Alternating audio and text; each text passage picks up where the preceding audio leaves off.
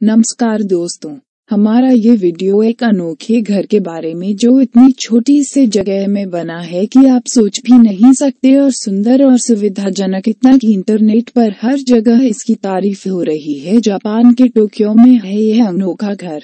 नदी के किनारे, सड़क के आखिरी सिरे पर एक छोटी जगह पर बना है। महज बावन दशमलव एक चार स्क्वेयर मीटर के एरिया वाला यह घर अंदर से कैसा है?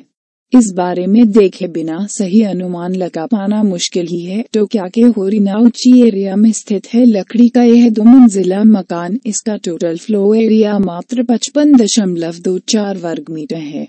लेकिन इसके भीतर प्रवेश करते ही लोगों का इसे लेकर परसेप्शन बदल जाता है। इस घर की डिज़ाइन इतनी शानदार है कि अजीबो गरीब तिकने प्लाटन कम जगह के बावजूद भीतर काफ़ी स्पेस निकल आया है। इसी खासियत के कारण इस जापानी घर को जर्मन, फ्रांसीसी और अंग्रेज़ी मीडिया में भी सराहा गया। इसके अपर फ्लोर पर bedroom kitchen dining room living room और बालकनी है। ग्राउंड फ्लोर पर मास्टर बेडरूम और बाथरूम है। इतना ही नहीं, घर के बाहर लेकिन उसकी जगह पर ही एक पार्किंग स्लॉट भी निकाला गया है तो क्योंकि मिजुबिशी आर्किटेक्ट इटेलियन नामक फर्म ने इसे बनाया है, इसका निर्माण मई 2011 में पूरा हुआ था मिजुबिशी आर्किटेक्ट इटेलिया की स्थापना।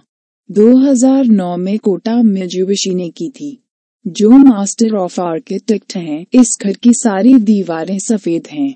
जिसके कारण यहाँ काफ़ी स्पेस लगता है। इसके अलावा दोनों ओर लगी खिड़कियों से भरपूर रोशनी आती है। इसके चलते भी कम जगह के बावजूद शहर खुला खुला लगता है। ऐसा नहीं है कि ये घर महज दिखाने के लिए ही बनाया गया हो। फ़िलहाल यहाँ एक छोटा परिवार रहता है, जिसमें पति पत्नी और एक बच्ची है। हमारा ये वीडियो यहीं पर समाप्त होता